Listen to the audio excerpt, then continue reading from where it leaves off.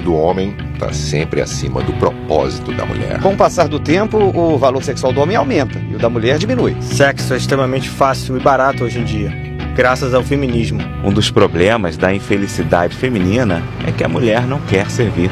Essas são apenas algumas das muitas frases machistas difundidas na internet todos os dias em perfis com milhares de seguidores 300, 800 mil. Eu não acredito que eu tô lendo isso. Eu me sinto, eu me sinto péssimo. Gente, esse povo tá doido da cabeça. Isso é muito ruim para o homem, inclusive, né? Que, que tem que valorizar a mulher, aliás. Isso aí é, para mim, teria que rasgar cada um desses aqui e jogar fora. Eu me sinto ofendida. Nossa. É absurdo, né, gente?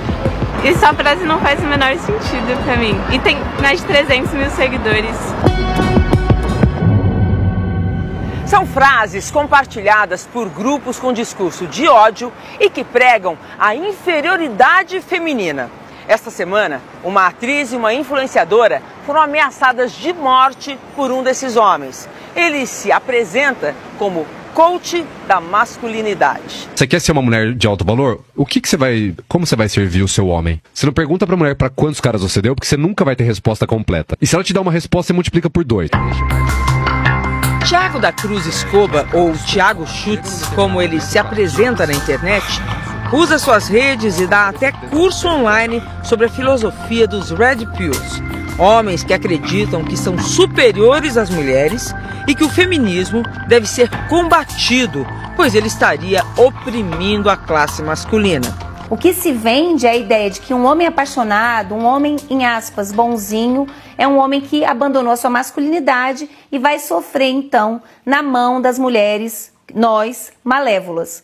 O propósito do homem tá sempre acima do propósito da mulher. A mulher tem muita coisa tipo, de tentar moldar o cara, tentar colocar o cara tipo debaixo dela. É o cara exercitar isso aí, ele começa a entrar um pouco mais nessa questão tipo da rebeldia, de ser um cara mais autêntico, de ser um cara mais original. A atriz e roteirista Lívia Lagato, indignada com as ideias do influencer, fez uma paródia em sua rede social sem citar nomes. Homens indo pelo seu próprio caminho, rumo à casa da mamãe. Tá na hora de sair do armário e gritar pra todo canto: Eu sou misógino! A resposta de Tiago Schutz veio de forma violenta durante a madrugada. Você tem 24 horas para retirar seu conteúdo sobre mim. Depois disso, processo ou bala. Você escolhe. Eu tirei um print e postei nas minhas redes. E expus. Falei, olha, isso está acontecendo, gente. O que, que eu faço? Ele ficou incansavelmente tentando falar comigo, me ligar. Eu acho que ele queria falar ao vivo. Oi, ou processo ou bala, sabe? Então eu fiquei, eu fiquei muito assustada. Elivia, tudo bem? Papo reto, meu. Vamos ser sinceros aqui. Você escolhe, meu, se é prosseguir ou não. A resposta é 100%, beleza? No mesmo dia em que a Lívia foi ameaçada, a Bruna, que é influencer e feminista, tem conteúdos feministas nas suas redes, também recebeu o mesmo tipo de ameaça da mesma pessoa. Foi a mesma frase? Exatamente a mesma frase. Você tem 24 horas para apagar os conteúdos sobre mim. Caso contrário, processo ou bala, você escolhe.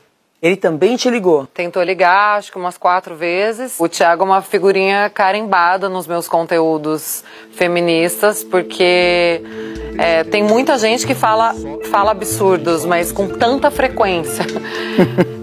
É, ele é um campeão. Desprezo o quanto tu venera a castidade.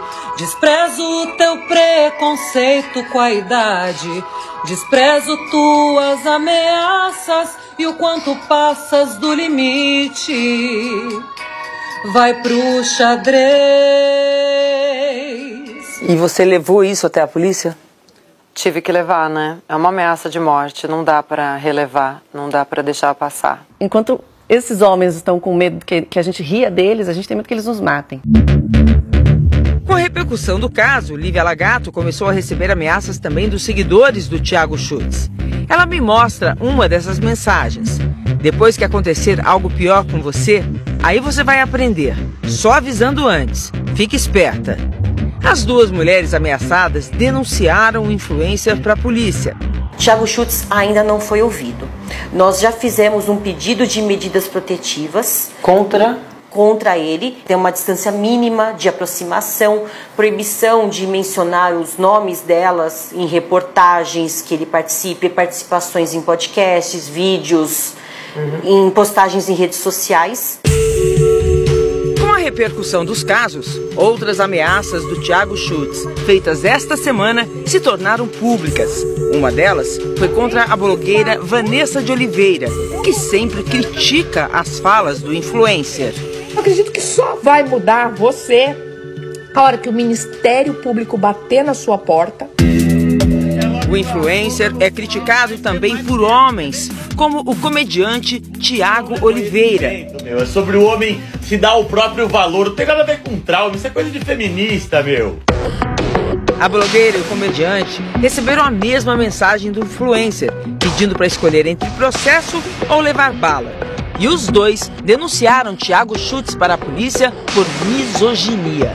As pessoas não entendem o que é a misoginia ainda? A misoginia é um discurso de ódio e repulsa às mulheres e a tudo aquilo que a elas é relacionado. Os homens aprendem desde pequenininhos que ser homem é não ser uma mulherzinha. Então, se constrói um discurso de que o verdadeiro homem é aquele que domina, que subjuga, que trata as mulheres como objeto sexual.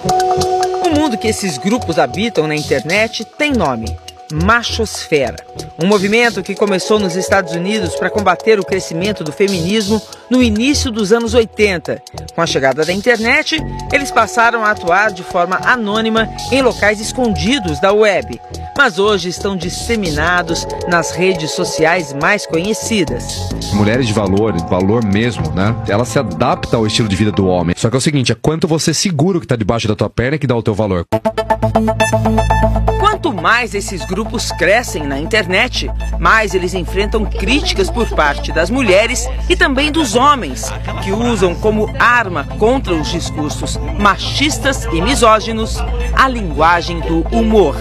Você sabe o que é Red Pill? É o machista inseguro com o próprio pipio. Não é engraçado, há perigo na fala. Outro dia um Red Pilantra infeliz enviou para uma atriz ameaça de bala. Que tipo de punição você espera para ele? Eu espero que ele seja intimado.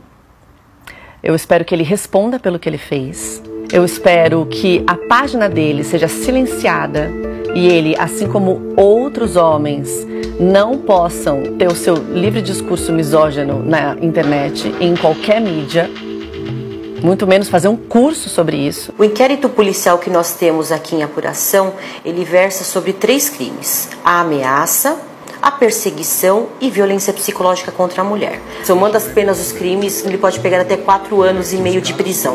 Não existe o crime de misoginia e também não existe uma pena mais grave nessas situações. Existem hoje pelo menos dois projetos de lei que tratam da misoginia como crimes próprios e com penas mais graves. Um dos projetos de lei, ele traz a conduta da misoginia equiparada ao crime de racismo. Tiago Schultz não quis gravar entrevista. Por meio dos advogados, enviou uma nota em que declara não ter sido notificado pela polícia e que não tem envolvimento em nenhum ato de violência. Esta foi a sua última publicação nas redes sociais sobre o assunto.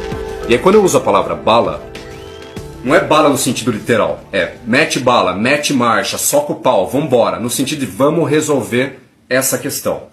Se eu fosse dizer o que eu acho que deveria ser, prisão, né? Porque a violência contra a mulher é muito banalizada. Acho que o perigoso, Renata, são essas mulheres que estão convivendo com essa, esse exército de homens que consome esse tipo de conteúdo que está livremente na internet, quem está correndo perigo são essas mulheres. Tanto ódio gratuito e tanta prepotência geram violência e isso tem nome. Não vamos deixar misoginia impune. Essa luta nos une, mulheres e homens.